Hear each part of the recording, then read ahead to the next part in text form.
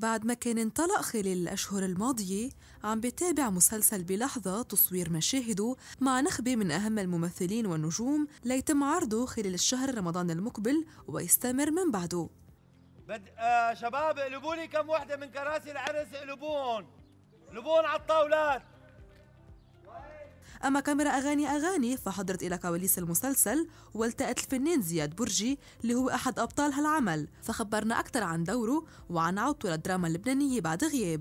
المسلسل بلحظة إنتاج السدا برودكشن الإخراج لأستاذ أسامة حمد كتابة لنادين جابر البطولة لكارمن لبوس مجدي مشموشي فؤاد شرف الدين سينتيا خليفة ناتاشا أسامي كتير موجودة.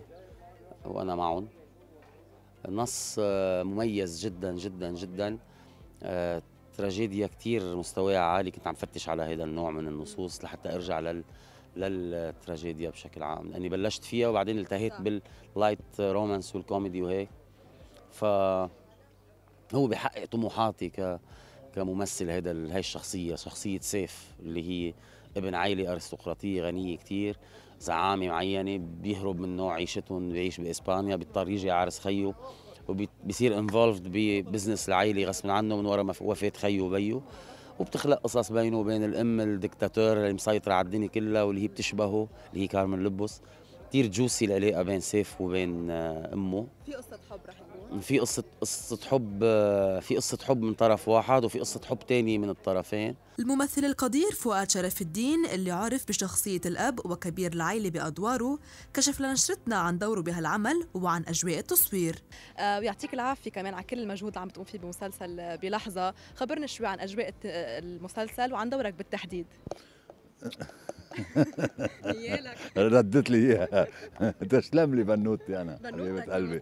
إيه بنوتي بالمسلسل. فأنا ضيف المسلسل. أنا كبير العائلة. بس للأسف الشديد بفترة قصيرة أه بعمل حادث سيارة أنا وابني. يعني ابني عم بيسوق ومستعجل بده يشوف حبيبته مرته إلى آخره. فبيعمل حادث كتير كبير وبموت فيه. لحتى يتابع من بعدها زياد برجي اليوم أه بعتقد رح يكون ما عم بقول لك رح يكون له علامة فارقة بالتلفزيون وإن شاء الله قريبا بالسينما يعني. هي السينما أنا سينمائي فمتحيز للسينما. الممثلة كارمن لبوس اللي عم بتخوض السباق الرمضاني بأكثر من عمل شو خبرتنا عن دورها المميز والرئيسي بمسلسل بلحظة وعن رأيها بالفنان زياد برجي. أنا بكون اسمي ربا بلحظة. هي إذا بدك هي عمود العائلة هي هي مثل إذا بدك عشيرة عشيره كيف بيبقى؟ بما إنه بغياب الدولة بغياب ضمان الصحي فبتلاقي دائما في الوجهاء تبع الضيعة هن مهتمين بكل أهالي الضيعة شو بدهم شو ناقصهم فهن تقريبا معيشينهم فهن بيكونوا أصحاب السلطة أصحاب النفوذ إذا معك مال يعني أنت معك السلطة بإيدك فهن أصحاب السلطة بهال بهالمنطقة هيدي. فهي دور رئيسي يعني فينا نقول. هي هي ال هي تبع المسلسل. هي العمود تبع المسلسل يعني هي لو ما منا ما ما في ما, ما بيكون في أحداث بتصير يعني. وهي اللي كل الوقت عم تشتغل لتضلها هاي العائلة موجودة مستمرة ومسيطرة على الأهالي واللي هي عم تعيش وما بدها في شيء يصير زحزحة أو أو شيء يوقع من إيدها يعني. يعني دور رح يكون شوي شرير. آه كتير شرير. أنا كتير سعيدة إنه رح نشتغل سوا. رح يكون ابني. آه أنا شفته بغلطة عمري وكتير حبيته. حبيت العفوية اللي عنده إياها. حبيت أهم شيء قديش مصدق. هي هي مش المهم تكوني أول مرة عم تلعبي ولا مئة مرة عم تلعبي. المهم قديش أنت بتكوني مصدقة اللي عم تعمليه ومصدقة اللي عم تقوليه. هالقد بتصيري قريبة للناس وهيدا زياد اللي عنده إياه هاي العفوية اللي عنده إياها هاي خلته يعني يلعب يعني يوصل لهيك يقطع شوط كتير كبير بالشغل لأنه يصير بمحل يعتبر ممثل وممثل جيد جدا يعني. فأنا كتير كتير سعيدة إنه نحن رح نشتغل سوا. وفي هاي التناغم والعقدة إذا بدك بينه وبين أمه يعني.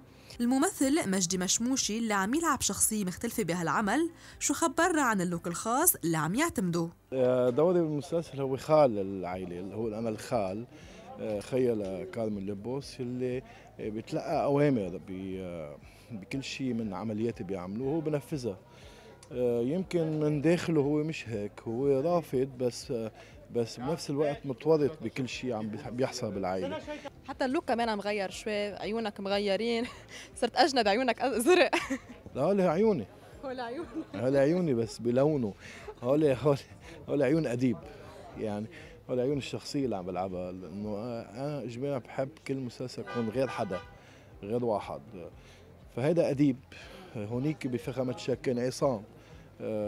باللي قبله كان فلان باللي قبله كان يعني لازم كل كل شخصية يكون لها لها شكلها ولها كاركتيرها الممثل وسام سعد اللي عرف طيلة السنوات الأخيرة بشخصية أبو طلال رح يلعب ولا أول مرة دور وشخصية مختلفة كان خبرنا عنها. يعني أنا رايح بحدا كتير بعيد عن ال character حتى بال body language حتى باللغة حتى باللهجة بأي شيء. و on place فيك تزيد عليهم أنا طالع حدا بيقتل بيقتل العالم و... إيه وبحب ال... نوعا ما الدم يعني بحب هيدا اللي راسه كتير هيك مشاكل ومافيوزي شوي. فالحمد لله في تنوع إن شاء الله يحبوا العالم. وأكيد أنا يعني بحترم وبحب أسامة الحمد هو صديق من خمس سنين تقريبا فبحب عينه بالإخراج وإن شاء الله بنتوفق مع الصدى برودكشن كمان.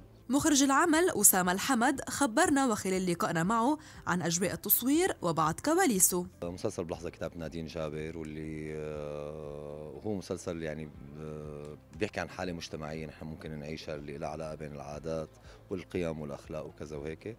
بنفس الوقت هو من اسمه هو بينطلق من مبدأ الحدث اللحظي اللي ممكن يصير شيء لحظي بحياتك بس يأثر بكتير أشخاص هن بيكونوا حواليك لأنه أنت مرتبطة فيهم بشكل أو بآخر.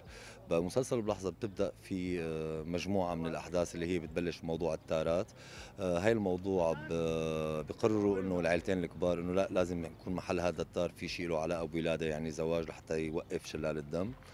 بالفعل بجوزوا حدا بيطلع بتقدم ضحية خليني أقول لمواضيع التار هي بنت بعدها بأول طلعتها حابه تدرس تعمل جامعة تعيش حياتها تكون شخصيتها. بتصير ظروف كتير ضمن هاي العائلتين شاء القدر إنه حدا من أولاد هاي العائلتين بيكون هو ما عجبه هاي البيئة كلها طب هو بيكون مسافر ببرا بيجي على العرس. بتتشكل مجموعة من اللحظات اللي بتغير حياتهم كلها بالتالي وبتحول بتصير الحدث تأثيره فعلي ومباشر بالشخوص اللي موجودة حواليك وبالتالي مؤشرات الحسية بتختلف من شخص لآخر. كتبة هالمسلسل نادين جابر تحدثت لنشرتنا عن بعض تفاصيله وعن رأيها بالممثلين المشاركين فيه. أكيد محمست له هو موضوعه مش جديد يعني كل المواضيع أصلا اللي بتتناولوها المسلسلات ما في شيء موضوع جديد لأنه هيدي الحياة فيها هيدي المواضيع بالذات ما فينا نخترع شيء مش موجود. مسلسل بيشبهنا إلى حد ما بيشبه المجتمعات العربية المجتمعات بلبنان. في عيال شأنها ما بين بعض في طار بيناتهم في قتل.